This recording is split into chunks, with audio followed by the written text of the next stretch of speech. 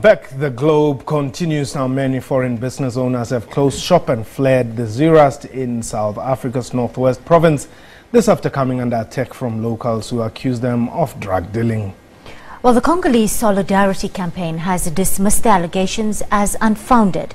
But locals here insist the foreigners are indeed responsible for a criminal element within the small town and held a protest march earlier today. Fearing for their lives, some of these foreign nationals are hiding in nearby mountains armed with only blankets and water. It follows attacks by locals over the past three weeks who accuse them of drug dealing. The Congolese Solidarity Campaign has called on government for support. This is a xenophobic attack. I plead with the government to work on it because we are innocent. We are innocent. We are pleading the government to, to respond very fast before people they lost their, their lives. Yeah, even the, the, the police also they should they should do their job. They should do their job. Please, we are innocent people. People are, uh, are, are running saloon in Zirast. We are innocent, and I say it again: we are innocent. We are not dealing with drugs. We are not uh, buying stolen things. We are not doing crime in Zirast. I'm here almost 14 years in Zirast. I haven't do any such thing.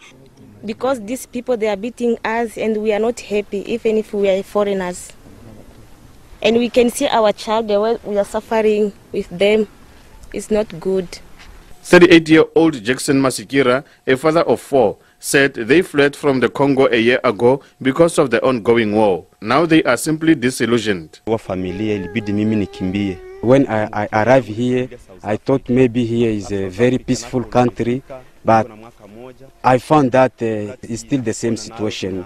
People they've been beating, they've been beating us every every night, and we decide now every night to come and, and sleep in the forest. What what that is is not good for for the healthy for as a human being, even for for the kids. Locals have established the so-called Enough is Enough movement, alleging to have found illegal substances in the foreigners' homes. we've come to realize that this, this issue is, is bigger than we thought. So, uh, as the community of Ziras, we don't want to be seen or sound as we are being xenophobic to uh, the foreign nationals.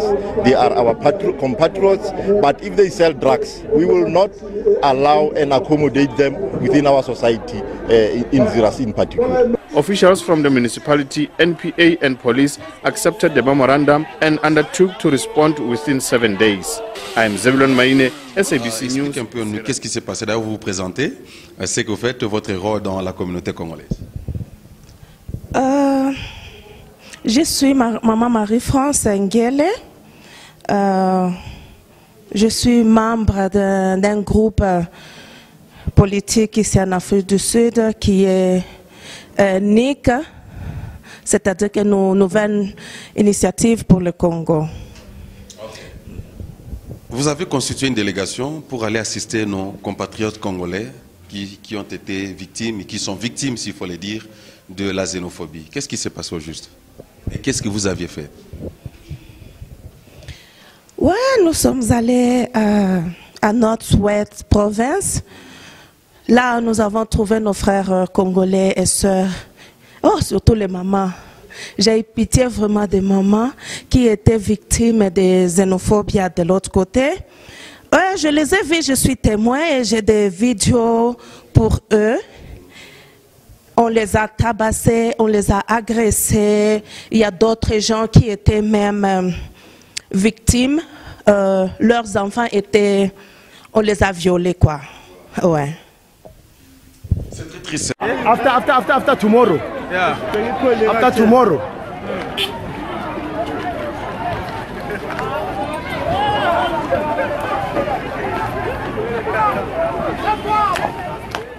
bamoni ke communauté congolaise euti na johannesbourg basensibiliser baye on a pu parler avec eux Vous voulez que nous intéressions notre ambassade.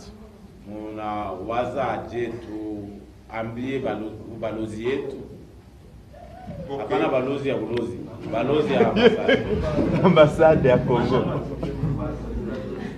Parce que, quoi qu'on le dise, nous restons congolais. maana eh, ijapokuwa yote tuko tu wakongomani Tout ce qui nous a divisés aujourd'hui avec le pouvoir ile ambayo imetugawanya na, na, na, na watawala est tombé. imeanguka Et les gens qui sont à l'ambassade,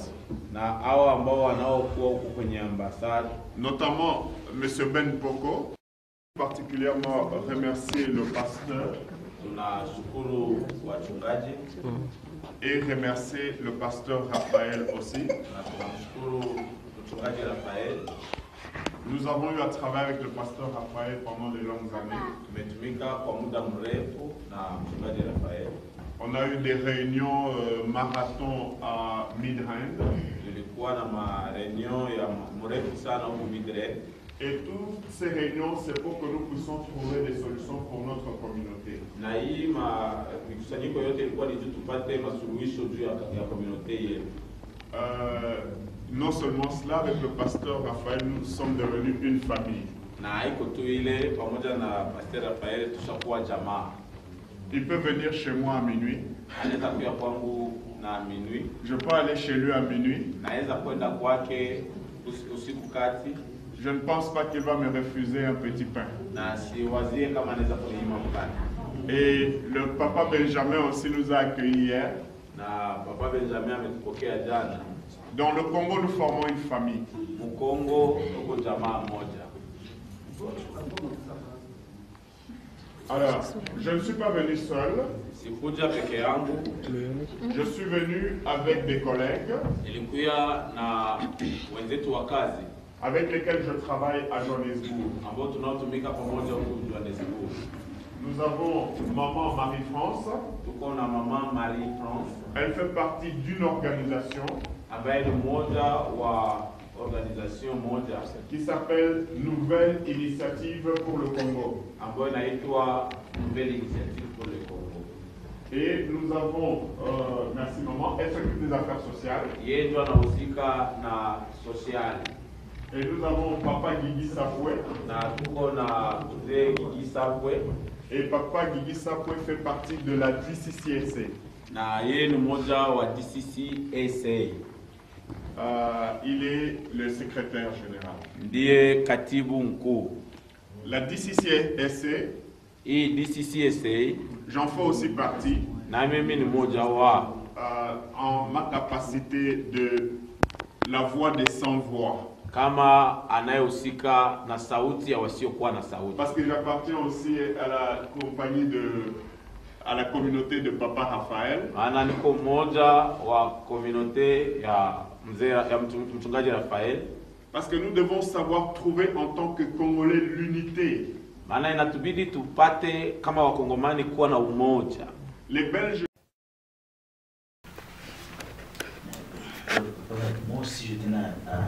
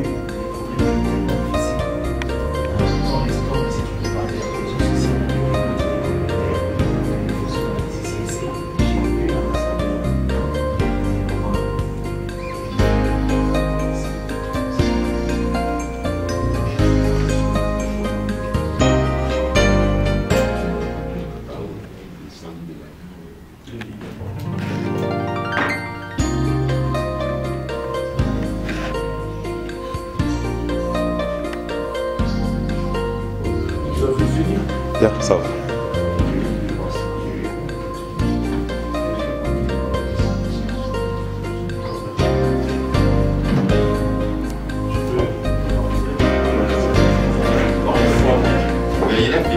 Bon, ça va, ça va.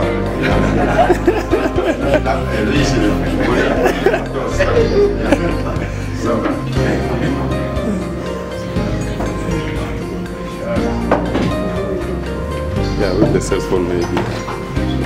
Yeah, take, where is your cell phone? You have to, yeah, take it. Take on the phone.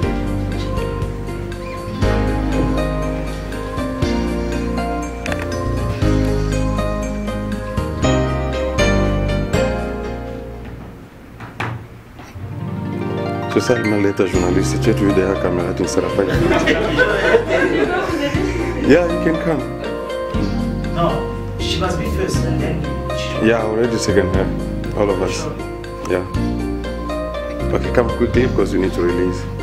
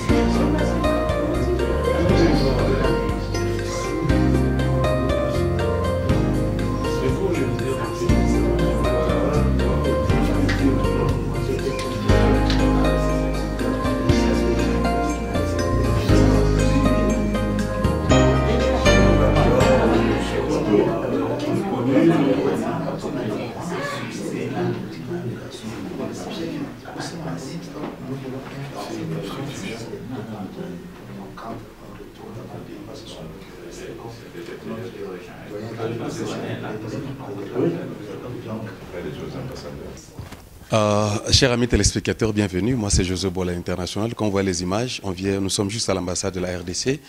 Euh, on a eu le privilège de rencontrer son Excellence euh, Monsieur Ben Mpoko, qui nous a reçus, comme vous avez vu dans les images, avec euh, le directeur.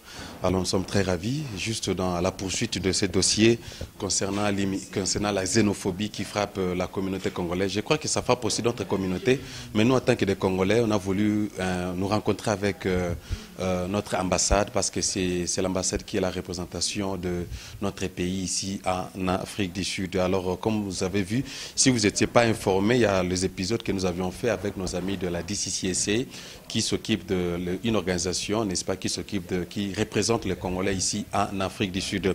Alors, on a voulu avoir une séance de travail, une séance de réunion avec l'ambassadeur, son Excellence, Monsieur Ben Poko, et nous sommes très reçus. On était vraiment, vraiment flattés et très vraiment étonnés de- d'avoir euh, cet accueil vraiment chaleureux. Nous sommes vraiment très honorés et très émus. Il a vraiment pris le temps de nous écouter, écouter nos plaintes, écouter les rapports que nous avons faits, que nos amis de DCCSC ont fait, n'est-ce pas, euh, de leur visite au niveau des Irax. Alors, je vais recevoir euh, rapidement, euh, messieurs, bon, vous l'avez suivi dans l'interview précédente, euh, monsieur Guégué, euh, ça va, comment vous allez? Je vais très bien. En fait, comme vous avez dit, nous sommes ici à l'ambassade de la RDC à Pretoria.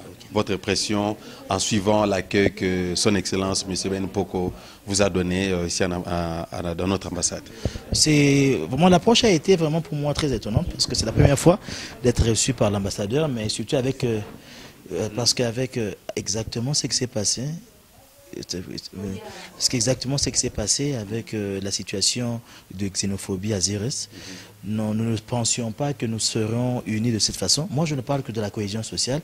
Je voudrais que l'on s'identifie comme communauté congolaise. L'ambassadeur y a pu prendre part en tant que Congolais.